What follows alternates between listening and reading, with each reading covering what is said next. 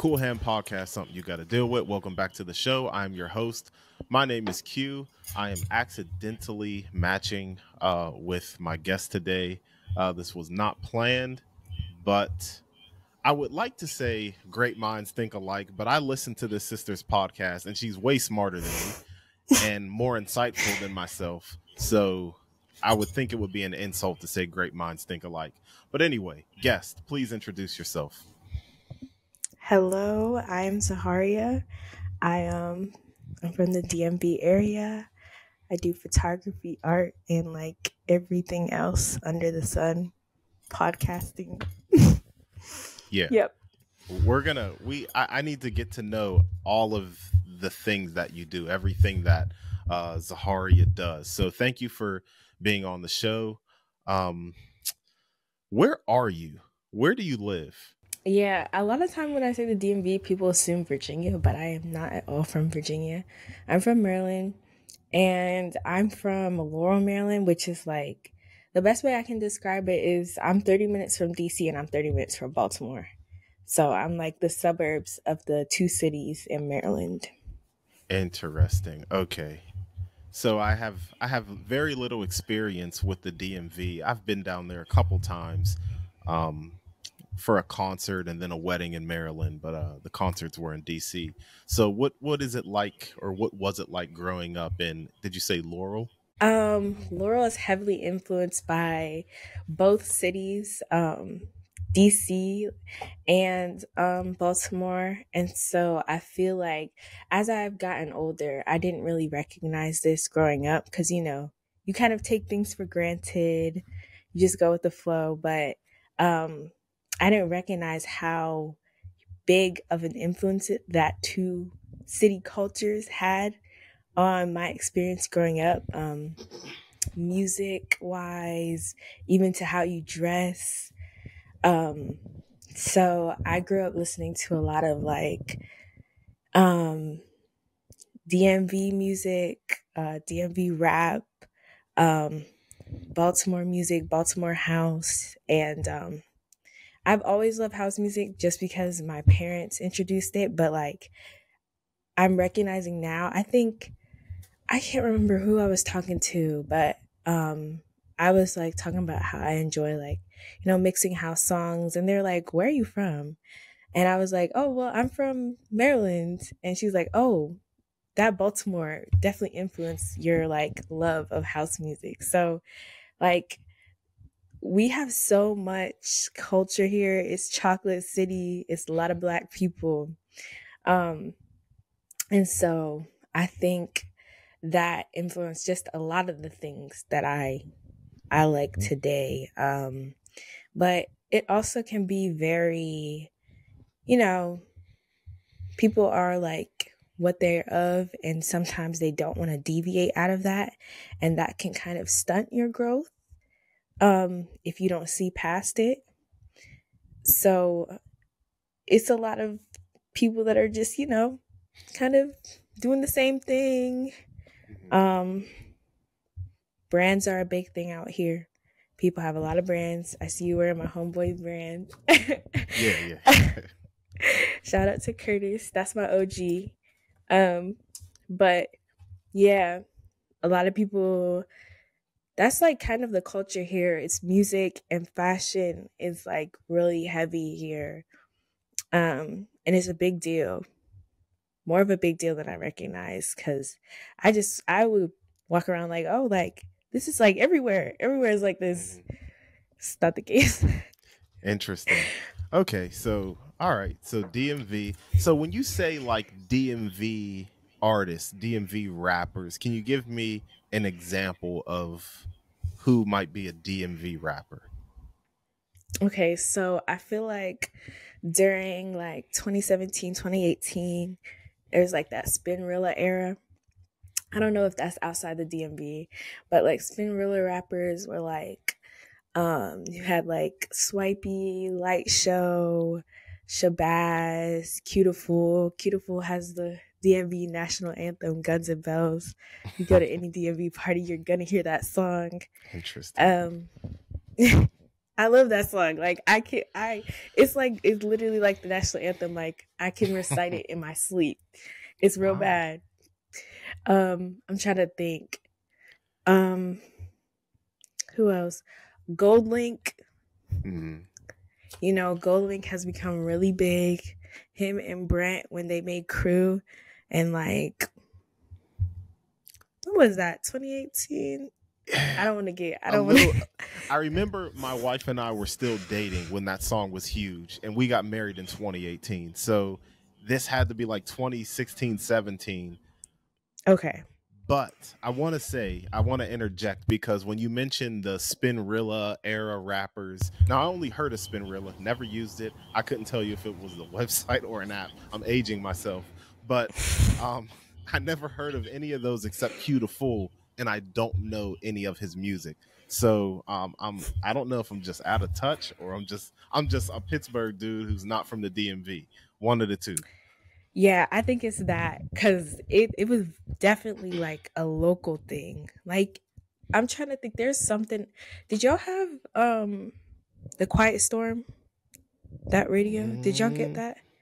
No, I think like our hip hop and R and B station did like a Quiet Storm thing but it was like a local okay. thing. So, mm. okay. Cause I was asking, I think, okay, I was actually asking Sunny about that, like a few, and I think he said yes. So I didn't know if it was like a regional thing, like it got to a certain state, or mm-hmm. if it was mm-hmm. just DMV thing. Cause I had other people say, like, no, I don't know about that. But that was a radio station. Like, well, not a radio station, like a segment. And it was like um i just remember that very distinctly. And i didn't know if that was like a dmv thing or a regional mm-hmm. thing. I don't know. But like i just think that's very cool you know? We yeah. have our own you got your own yeah. and i, I want to know about the house music as well. What house music artists um, does the dmv listen to or just you in general that you like to listen to um Okay, so I don't think house music is a DMV thing, but uh, more so a Baltimore thing. Um, now, Baltimore is very much its own place. Like it's not even a part of the DMV. They have their own. They're they might as well be their own state. Okay. um, but Baltimore house music is a lot like you know Philly, Jersey, that they're all those cities kind of like for me they kind of like come together when it comes to house music that um I don't know what the beat is but yeah like you know the like the repping of the hoods and stuff like that like that type of house music got you club music that that's what that sounds like got but you. um for me, growing up with parents, okay, so my mother's from Pittsburgh. That's right. But and I think I told you that. Yeah. Um, but she didn't stay there like too long. After she got grown, she was like. so I feel like I can't really say for sure um, that her music was influenced from Pittsburgh per se, but more so like when she got out. And then my father's from New York, He's from Brooklyn, New York. Um, that's where he was like raised. And so that, like, you know, the club scene, that type of house music. And then they both really like they're both house heads. So that's where a lot of my house music love comes from. And they didn't just stay in their regions. Like you have Chicago house, like, you know, you have all those regional house music. And um I'm trying to think like love Crystal Waters. She's a queen. Okay. Um, I have a whole house playlist. I feel like I have to look it up. Yeah, you'll you'll have to you'll have to share it with with the people, um, just so people can you know get to know you. Even after the episode, we can put that out. Um, just some Zaharia recommendations. So. Okay, so we're learning a lot, and for context, also, um, we uh, Zaharia and myself also met down in Atlanta. Um, today is the first of 2024, but uh, maybe like almost a month ago, uh, we got to see each other at the Castier uh, pop up shop, Castier Zoom and Live, excuse me, pop up shop um, down there in Atlanta. So um, you know, the pop up shops bring people together. uh, right. I remember them, uh, I think Dev specifically talking about building like community with like the pop up shops. And I think this contributes having, you know, interactions like this uh, contribute to that, uh, that whole community thing that he was talking about. So, Laurel, house music, your parents were into the house music it got trickled down to their offspring. So you are a creative person to say the least. Um, i know one of the things that you recently completed was like a 30 day straight content posting thing. Can you kind of break that down um, of what you accomplished and what you learned from that? Yeah i feel like i learned more than accomplished and maybe that is an accomplishment in itself but um so I kind of I've always enjoyed like watching people's content, creating content, but I think that I really wanted to narrow down to a niche. And um, that's something I have a hard time doing um, because I do, that's what I want.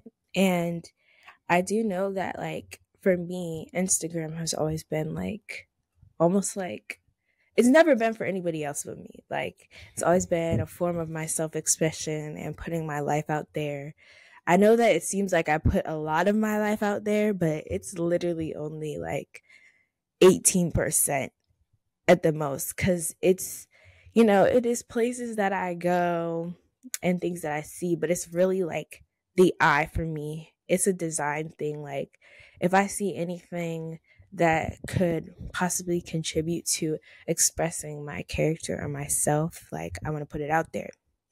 So I say all that to say I wanted to narrow that down because like I told you earlier, like not a lot of people know some of the endeavors that I have um creative wise and I kind of wanted to narrow that down. So I took that time to explore just like the consistency of creating content um, in itself. And then also, um, like being able to, I guess, in a sense, prove it to myself that I can do this. Okay, like I can do this.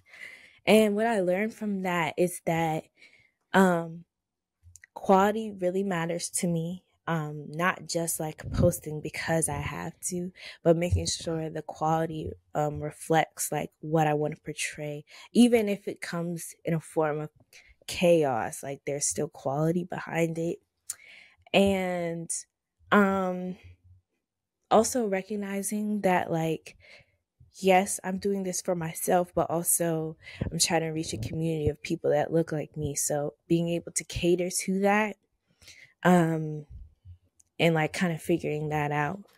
Um, so yeah, that's that's pretty much it. Okay, and you do have, um, I guess like an aesthetically pleasing Instagram. Now you have multiple pages, and I, you know, I can't keep up. I can't Please. keep up. So I know it's the ADHD. It's all over the place. Well, I, I follow. I follow one. I feel like you use this account often. So it it has like a good you know, you can look at a page and see like, you know, it just looks aesthetically pleasing. It doesn't look all jumbled up, a bunch of random stuff. It kind of, you know, everything gels into the next post. Um, whether it's like I see something with a quote here, uh, to like a Pinterest board type thing to looks like a beef patty, but they all kind of gel into each other. Um, in a way that it just doesn't look unorganized or disorganized. Now, you mentioned on your podcast before, and you just mentioned it now, you have ADHD. Yes, I do. Okay, so do you mind talking about that a little bit? Sure, I don't mind. Um, so I actually was diagnosed with ADHD like as an adult.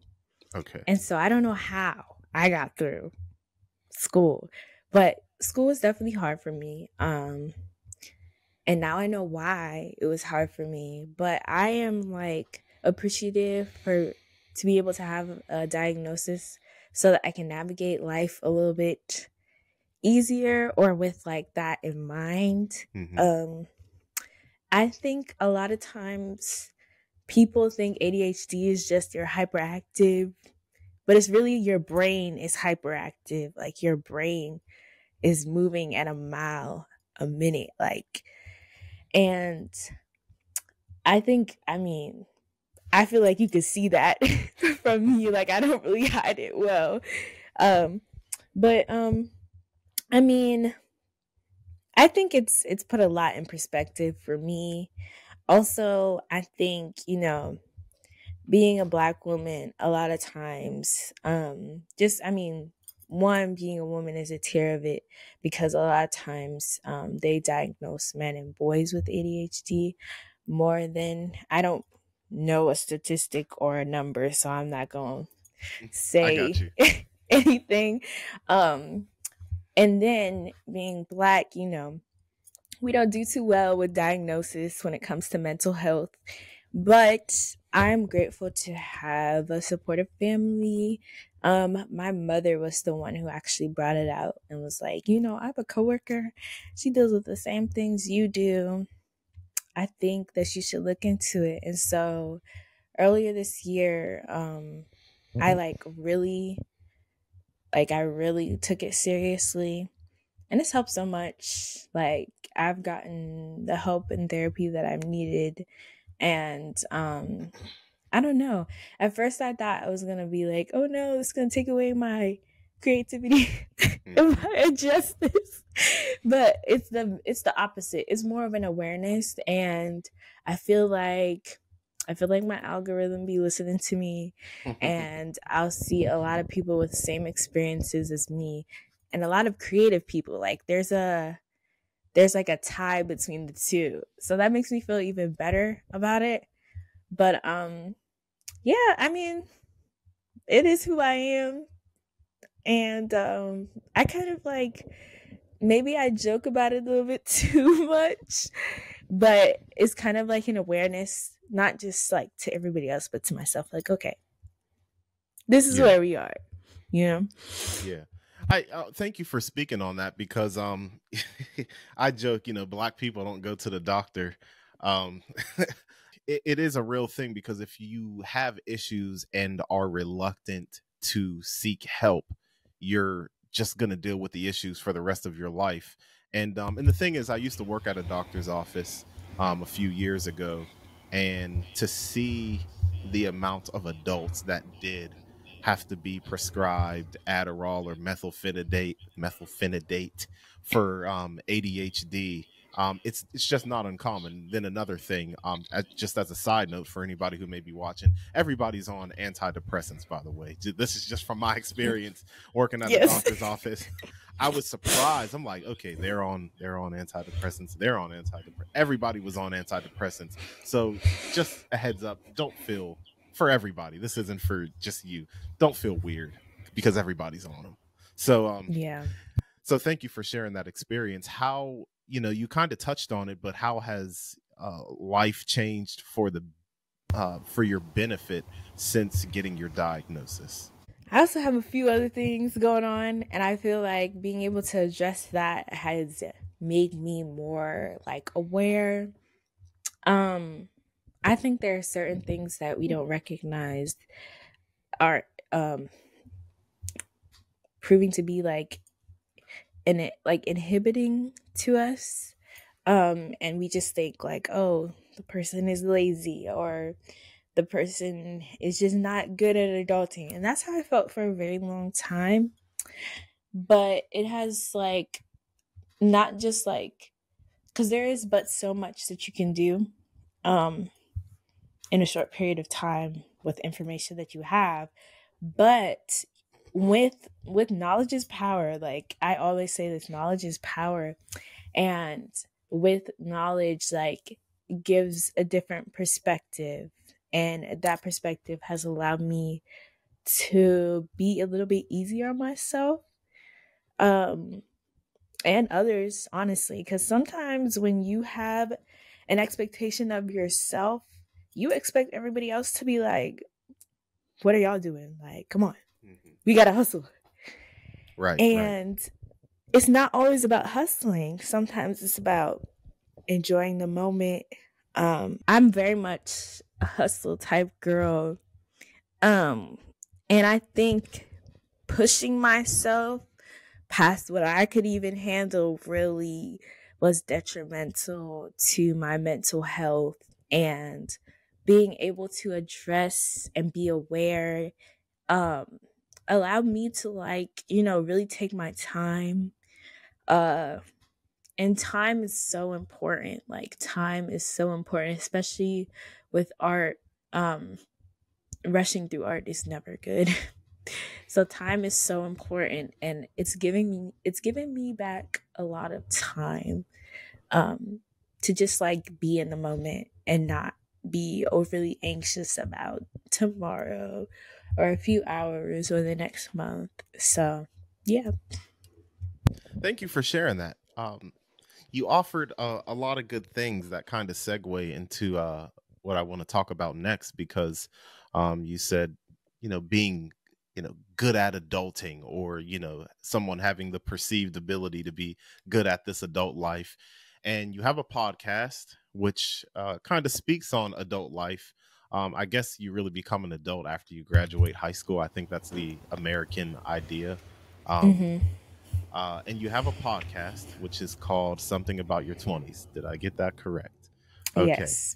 and i listened to every single episode and don't give me any credit if you haven't listened because there's only so many.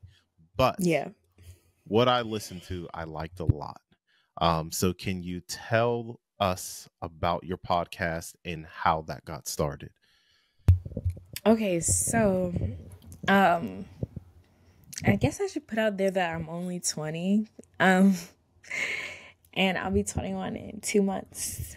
So I'm going to be a real adult. But um I I feel like I needed uh, to create a space um, for people like me, and not just like me, but also completely opposite of me. Um, to be able to um, kind of have a space to like vent about how ghetto it is out here. Like it's very ghetto like conversations I've had have been so beautiful and refreshing. Like it's never been super negative. Like and I think in my my head I was like, "Oh yeah, we about to talk about how bad it is out here." Mm-hmm. it's never been that. Like it's always been super encouraging by the end and um I think my biggest thing as well being a creative is I don't think a lot of creatives talk about their process. And so a process is not just like a process for a piece, but a process for like your growth and maturity and different things that influence where you are now. Or even talking about like success and um or even bridging the gap like it's a lot of there's a lot of things that I talk about, um, like bridging the gap between um, childhood and adulthood. I feel like we don't talk about that enough, and how impactful our childhood selves and our like a lot of people speak about your inner child has on your adult self. And so I wanted to speak about that as well. Um I think also coming out of the pandemic, I didn't have a lot of resources that, and I hate to use that like it as an excuse, but it's a reality. Um, a lot of the resources and experiences um, that people older than me have had. So I wanted to, you know, create a space for people that are going through the same thing as me, but also like I found a lot of great wisdom and advice from like people that are older than me, um, who are at different places within their own, you know, journey of their 20s. So it's been a cool experience. I haven't been 100% consistent because life, life be life in, but I feel like from the podcast episodes of last year, like I learned a lot and um, yeah. Absolutely. So yeah, um, just as a you know as a plug, you know, go listen to the podcast, everybody, because I do think as a old man, a thirty year old myself, I found value within the podcast. Like it was not, um, it wasn't superficial. It was, it had a lot of depth to it. I did like the con the conversation. Uh, so I think I really think you got a good thing going. I um, I, I want you to keep going because uh, I think you have a you have something good with that podcast. So um, just as an example, um, you did talk about the pandemic. I remember you had two brothers on there talking about um, life within the pandemic. You talked about um, bridging the gap. And then you had an episode that I, I listened to twice. It was the shorter one, and I think it was your most recent episode. And it was kind of like self reflective. Um, and so just moving forward, can we, if you can, because life be life, and as you know, as uh, uh, someone who is living life myself. I get it. So, uh, do you have any plans on resuming the podcast, starting it back up? Anything that you can uh, reveal? Yeah, I actually, um, I'm gonna record with a few people this week. Um, but I'm gonna try to do. I, I feel like last time I was putting too much on my plate with like posting every Friday. It was overwhelming for me. And so I think I'm going to try once a month. And if I get that down, we'll go to twice a month. My biggest thing is like scheduling and planning and reaching out, which are things that I didn't have super strong skills in last year, but have become stronger. Like my networking has become so much better. Um, so I think that that makes me a little bit more hopeful for consistent podcasts. But if, if not twice, definitely once a month. Um, I want to drop an episode.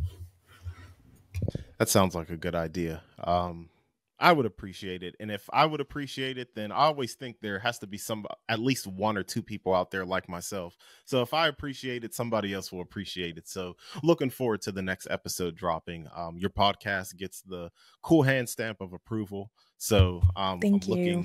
absolutely. I'm looking forward to, uh, you know, what you got coming next. Um, so something about your 20s podcast, go check it out. Now you do some more things. You are um, just at such a young age, you got you got a lot going on creatively. So yeah, um, let's let's move on to the the most recent thing um, that I learned about you, which is photography. And I think I learned about this through you posting another one of your Instagram pages. I'm like, what am I missing? Because this is the thing. I'm like, I want to do at least, I want to do my due diligence in researching the person I'm going to um, interview. So I'm like, oh, oh, crap, like I got something else to look at. So um, let's talk about photography. How'd you get into it? Um. Okay. So I got into photography. I have to shout out to my man's Q. His name is actually Quentin too and he lives in Charlotte and he was doing like he was just doing like point and shoot film. Oh, also, I feel like there are a few people. My friend Q and then my friend Max. He like uh, looking at his he does he does like uh 120 millimeter film and then my other homeboy he does like 35 millimeter film and then Sunny as well. So I feel like a lot of those dudes like watching them do film um was like really like oh my gosh i want this is something i want to do.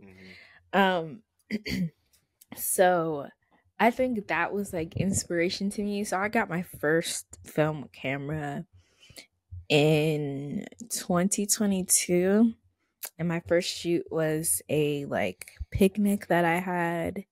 It was not the best but it, it was definitely like you know i was really excited and i i think um my growth from that has like been so amazing um but that's the first i i got a like a night it's over there it's like a Nikon tele something. I don't know. Um, and then I upgraded to a uh, an SLR um when I did my recent first uh like professional paid photo shoot. I I shot a graduation um like photo shoot. That was also a learning lesson. Um but that was also very fun. So a, lot of inspiration um but I only shoot film. I don't do digital. And I think I, I'm very into nostalgic and timeless and quality things. Like that's just my thing across the board for everything that I do and invest in.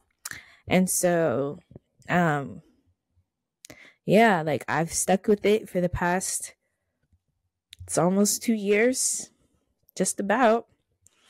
And um yeah, it's been super exciting journey. I've learned so much. Yeah, so yeah, let's let's talk about that because um with all the photographers that I've interviewed on here, I know that it's uh there's a huge learning curve because um photography is it, it's just a whole nother field that requires a lot. And uh shout out to uh Q, Max, Sunny, um Quentin's that's that's my brother because we spell our names the same way. So shout out to Q down there in Charlotte.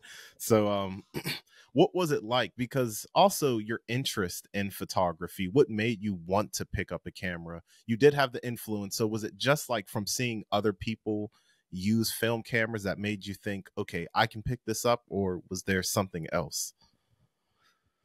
I think it was also like just something new um it was something new and then back again to like the quality like um man, you know the kitchen table series? Um, sorry, Carrie. No. no. Oh, okay. Well, okay. So, in uh, like, I feel like I'm gonna have all my facts wrong. Um, but okay. So I'll just say what I know for sure. Um, in the '90s, there's this artist who did the kitchen table series. I don't know if you can find her name. Um, I definitely is it I Carrie Mae Carrie, Weems? Yes. There mm-hmm. we go. Yes, yes. That I saw that in the National Portrait Gallery, which is one of my favorite places to go in DC.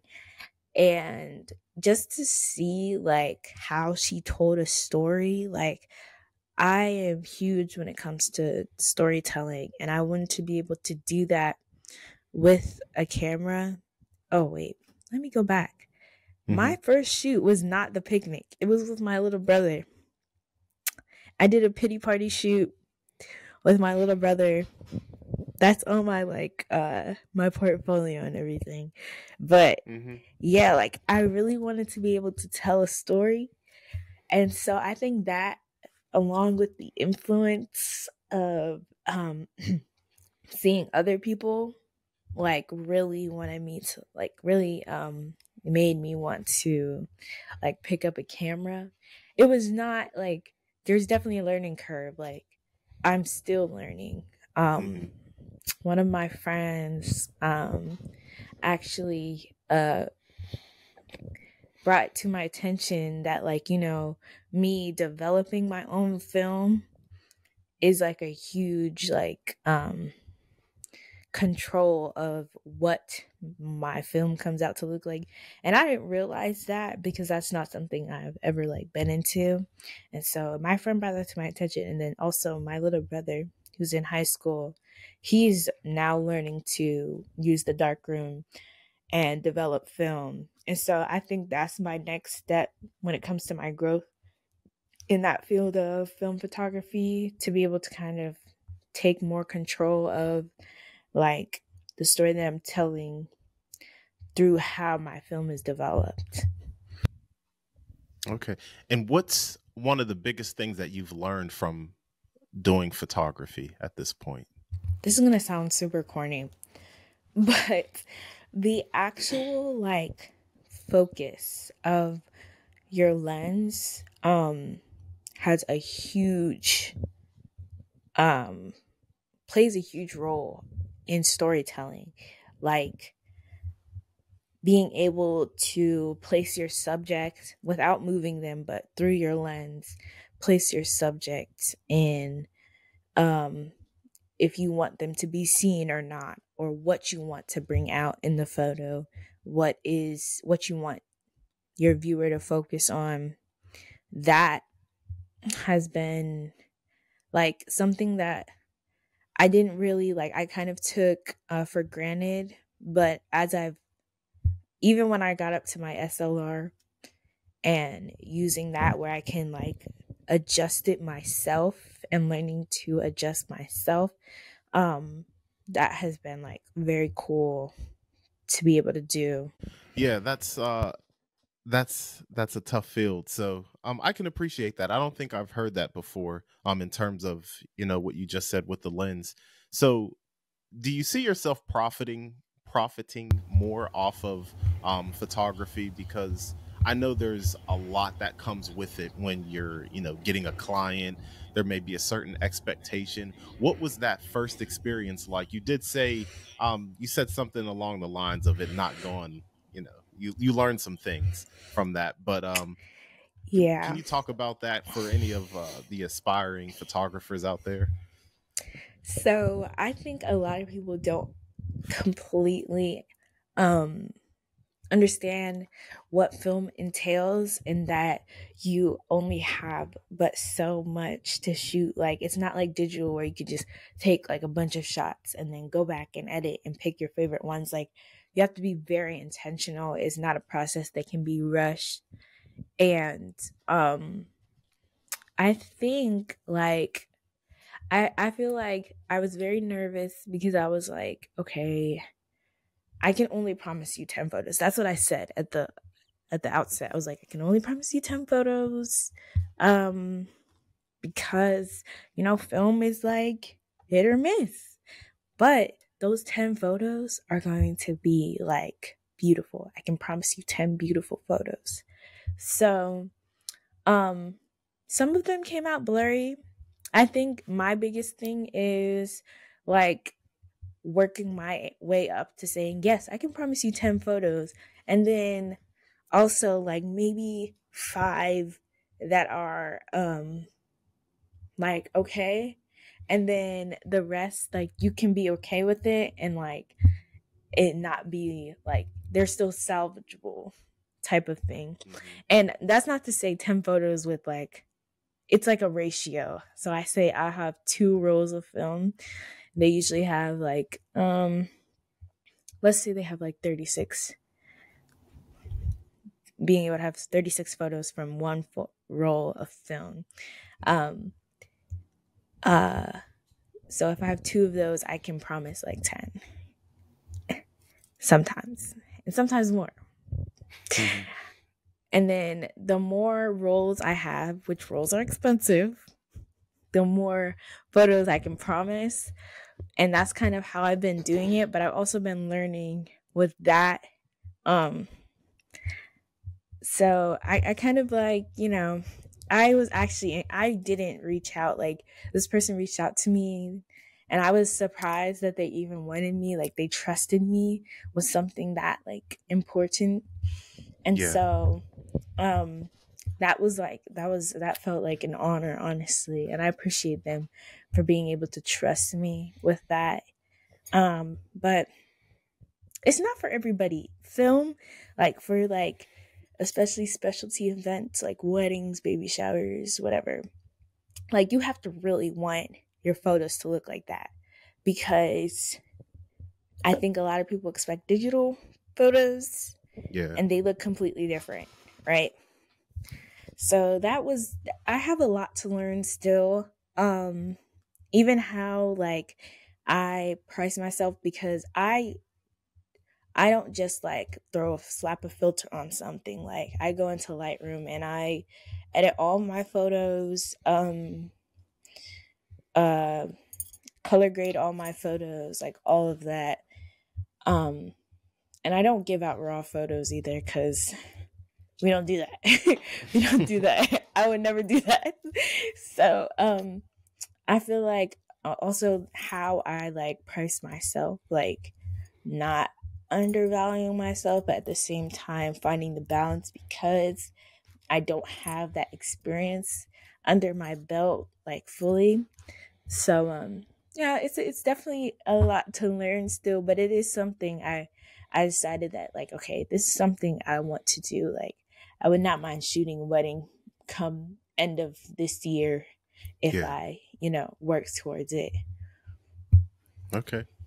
So let me let me say this. So if I'm somebody um and you're and you want to get some practice in and like uh what what would I have to do if I'm down there in the DMV area and I say, "Hey, if I if I buy however much the film costs, can you like take my pictures if you just wanted to get some practice in or are you like taking clients right now?" No, I'm absolutely down for practice. Like even with my friends, like I'm still building my portfolio mm-hmm. and I completely understand where I'm at as like still being able to learn. The only I wouldn't reach out to anybody at this point. Like I wouldn't do any like um reaching out to people like, "Hey, like I see that. Do you want me to?" No, mm-hmm. I would I would um honestly, I'm not going to lie even when this person asked me to like take the picture, I was like, I'll take them for free. I'm like, mm-hmm. because you know I'm still learning. But like, um, yeah, like I if somebody's in the DMV and they want to take pictures with me, like they can just hit me up, give me a date. If they want to bring the film, they can. Um, I know what film I like to shoot with, and um, so if they want to give me money towards the film, that's fine. But also like I love like I love taking pictures of people. I love um like even when I was in Atlanta, like I made the I don't know if you saw those portraits I posted. I made them yeah. take those photos. I was like, go stand over there. We're taking pictures right mm-hmm. now. So um I love taking pictures. Like it's something that I love to do so um, it's not really something that I feel like, unless it's like, you know, I'm not gonna be. You can't be down here like, oh yeah, it's my anniversary. Go, come on, take yeah. these pictures for free. right. But you know, I'm so down to like practice and, um, you know, shoot with anybody who's willing to. I love different people, different faces. Um, so yeah. Okay. Well, I'm gonna throw this out here. If anybody sees this and wants to shoot with Zaharia, at least ask how much the film costs, and you know, just out of kindness, you know, in return, you're gonna get uh five to ten good pictures back. So, and, and these these pictures are timeless, y'all. So, um, and it has a vintage look. So, at least, and if you can't afford the film, if you can't afford however much the film costs, throw something. You know, you know what I mean, y'all. Just just stuff ain't cheap. I know that as a as a creator myself, stuff ain't cheap. So thank you for telling your photography story. And you know what? I have one more question as well, and I think you might have given the answer, but just to get a definitive um, answer on this, is it mainly people you like to shoot, or uh, or there's something else that you like to shoot as well? Um. So when I was in New York, I did a lot of both and I kind of I I love colors. Like I love colors and when I see vibrant colors like Ultramax is probably my favorite film to shoot on and cuz it brings out really vivid and beautiful colors. And so I was shooting on that when I was in New York in like August. And so I definitely like scenes, scenery, but portraits are probably my favorite cuz I love like I mean, it's really like Jehovah is the artist at the end of the day when it comes to our mm-hmm. faces and how you're built. And I'm just capturing that. And I I feel like I I see beauty in everybody. Um I'm not the best at painting portraits, but I feel like me making up for that is taking photos of people's portraits. So I love I love shooting people's faces and even when they're not looking. Um yeah. Okay. And uh perfect segue. Thank you. You're setting these things up perfectly. Um, because you did talk about painting portraits and that you can compensate for uh maybe a lack of a certain skill in painting portraits. But something that I had no clue of before about, you know, 50 minutes ago is that you do just general art. Is that the case? Yeah. All right. So what all do you do? So I am a self-proclaimed mixed media artist. So um I have kind of gotten into okay, so I only I kind of have my own little like signature, I guess. I'm I'm developing. I only paint on wood canvases. I don't know why. I just well, I do know why. it's just um it's very organic and I like how I like how the paint goes onto the wood canvas. Um, stretch canvas can be very porous and like you can see the imperfections in mm-hmm. the canvas and the holes um, especially based on the quality of it because sometimes you have like really good stretch canvas but i still prefer wood and so i do a lot of paintings i love to portray right now i don't know if i should be saying this but okay i will i'm working on a series because my goal is to have a solo show. I've been in a few like community shows at galleries, but I have uh, a goal to have my own solo show by the end of this year. And I'm trying to be careful about how I explain this because it may turn into something completely different mm-hmm. later. But um I I like to paint um people that look like me and um kind of like without any context. I feel like unfortunately when it comes to black art there has to be some type of narrative of strength or oppression or um you know it has it has it it's it's got to be heavy a lot of times especially like those um paintings that are portrayed in museums like and i feel like unfortunately not to get too deep into it like certain other artists of different races have that liberty to kind of just paint everyday life and that is not a huge huge thing um within black art there's always some type of from what i've seen because there is a lot of artists who kind of just you know they paint without a a narrative. They paint just to just to be seen. Mm-hmm. and i that's kind of what i'm trying to do. I just i i want to be seen within my paintings and i want others to see themselves without any trauma or any type of like heavy narrative weighing upon it just it just it to be like just letting it be you know? Just the beauty of being yourself and living your life without any deep context to it because that can be weighing.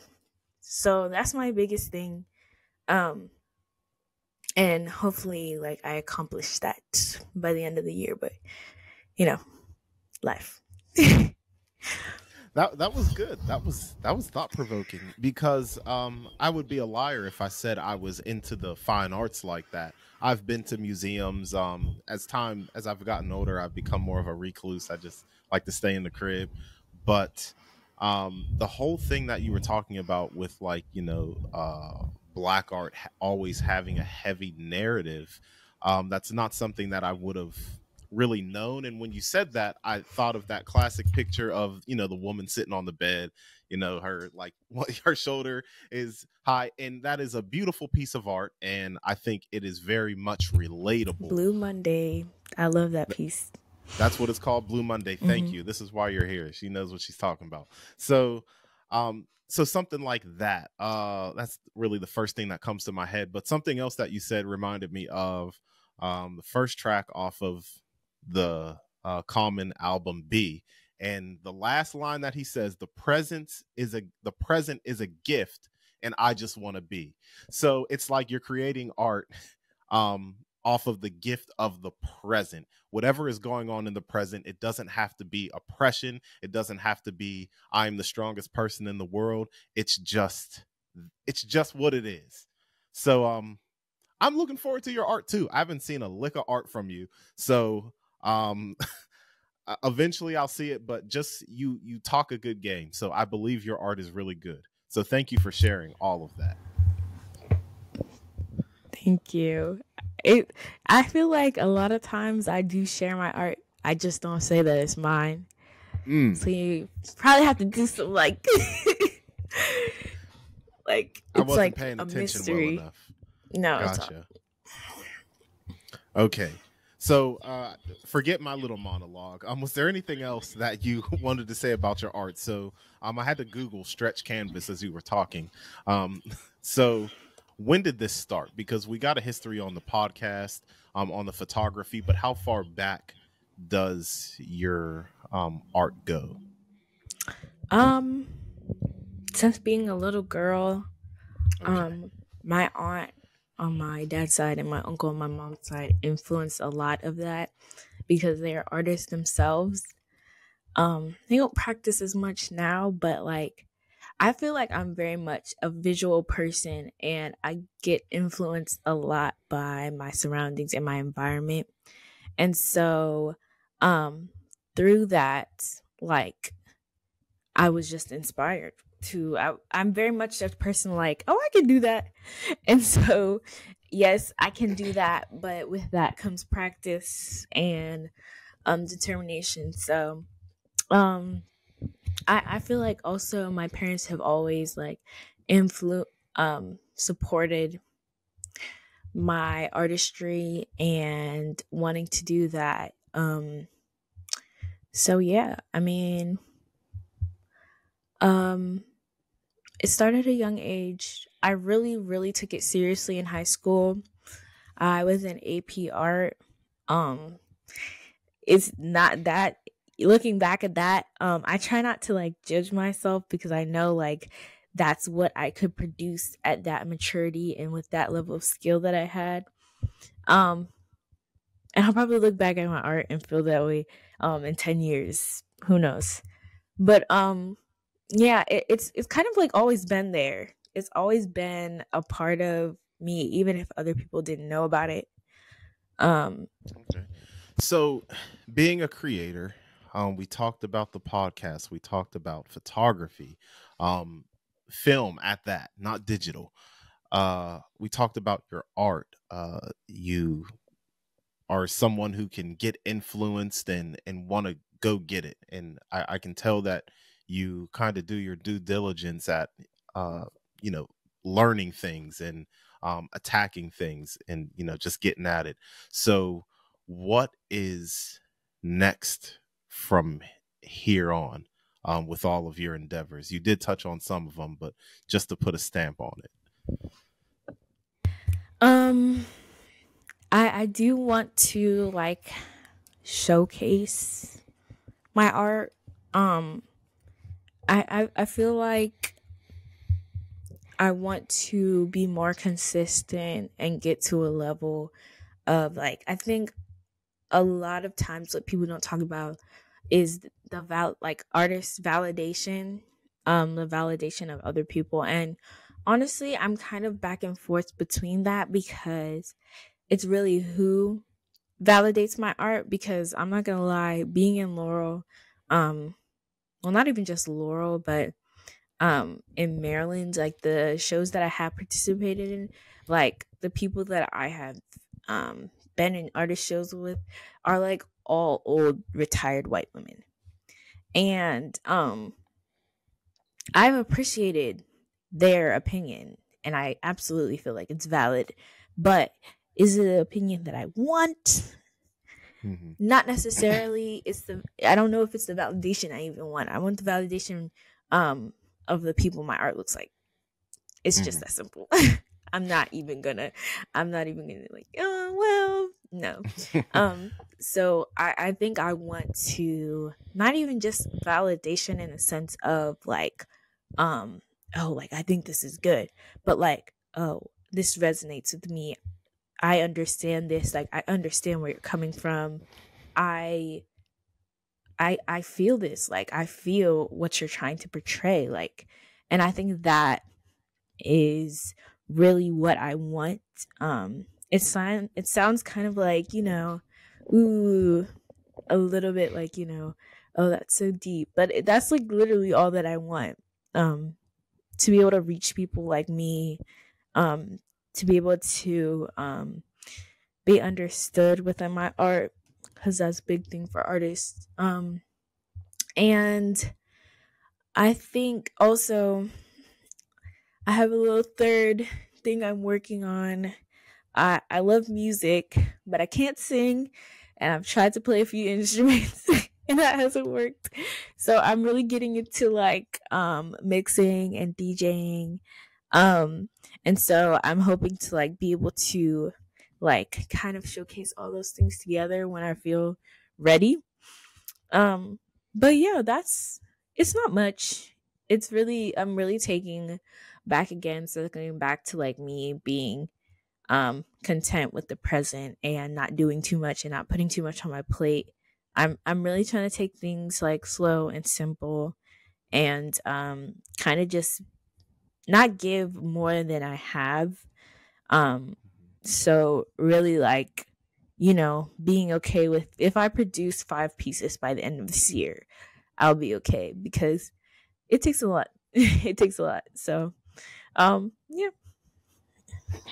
So, well, it seems like you keep yourself, you know, pretty pretty busy outside of you know secular work, your spiritual obligations, um, and then all of your creative duties um you're a daughter you're a friend to people so it, it's a lot on your plate. So um i wanted to ask this question about the uh the validation as well and you being in the the city the area that you're in.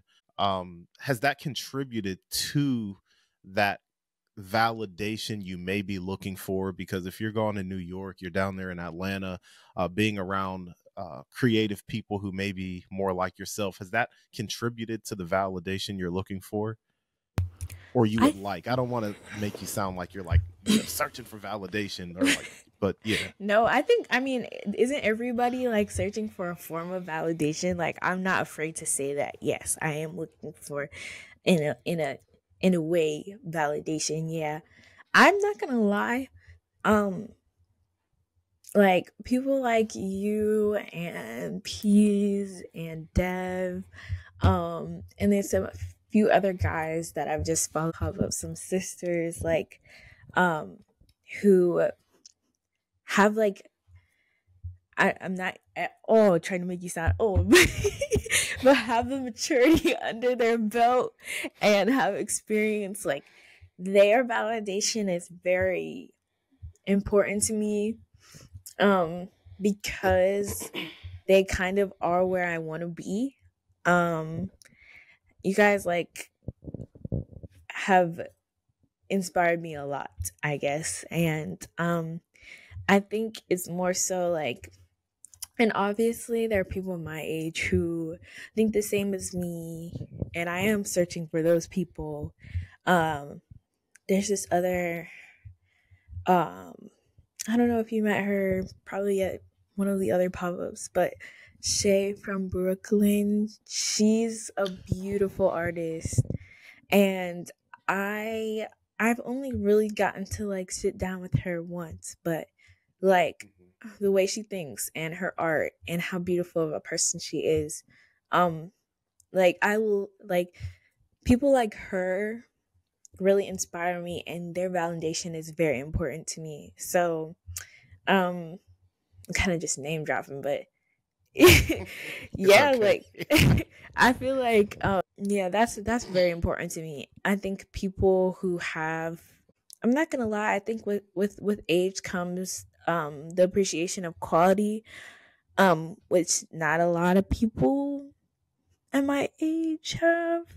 And so maybe that's why that age group and older is really important to me because they do appreciate the quality over the quantity or the flashiness of something but like the time that something took or the meaning behind it, no matter how chaotic or simple it is.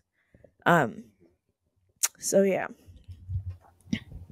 Got you. And I now I haven't met the Shay artist. Um, I do follow them on Instagram, and I've seen like their earrings and all that stuff. Pretty talented sister. So um, I always keep my eye out, you know, to find people to interview and stuff like that. So shout out to her too. So, um, you said some good stuff. Um, I think I know when I was 20, um, even 21, I was still finding, I was still like trying to figure it out. I was like going to school.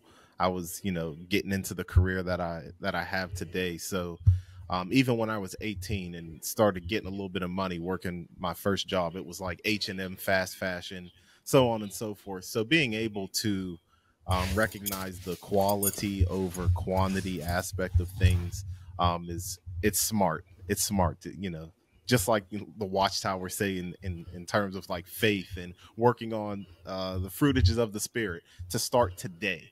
So it goes on with everything else in life. You know, you want to save money, start today. You want to do quality over quantity, start today. So you're getting, you're off to a good start. Put it that way. Thank you. So, um, that's it for me. Uh, okay. Um, was there anything that I missed or that you wanted to say? Anything that you wanted to uh, just throw in there? A tidbit, a shout out, anything? No, I feel like I shouted out a bunch of people during the podcast. But um no, thank you for this opportunity. Like I I usually am on the other side of this, so it was nice to like be the one who was inquired. Um but yeah. This was fun, so thank you so much. Um Zaharia, thank you for being on the show. Uh straight from the DMV. Uh, this is the Qool Hand Podcast. Check out something about your 20s. Um, until there's a new episode, you can check out these episodes. It has other people who are uh, in their 20s talking about their experiences. Um, it's really good. Check it out. And uh, check out her art. Follow her on Instagram. Um, all that. And this is the Cool all Hand the pages. Podcast. All the pages. all the pages. And uh, that's it. Qool Hand Podcast, something you got to deal with. Easy. And that's it.